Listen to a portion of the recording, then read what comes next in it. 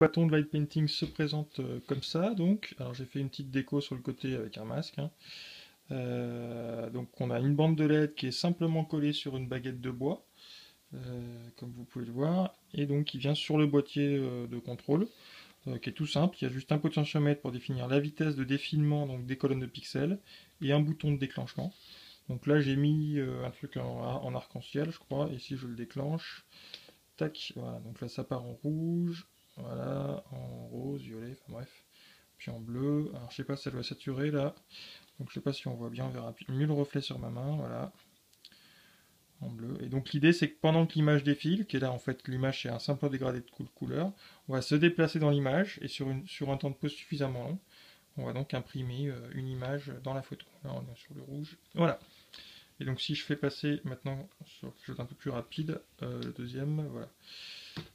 C'est un arc-en-ciel qui, euh, circule. dans l'axe, c'est toujours un peu trop violent au niveau luminosité. Je sais pas si on peut régler. Un petit peu quand même. Voilà, donc c'est tout simple et c'est portable. C'est vraiment un circuit euh, tout simple à monter avec un Arduino. Il n'y a pas grand chose à faire et le tutoriel est très détaillé.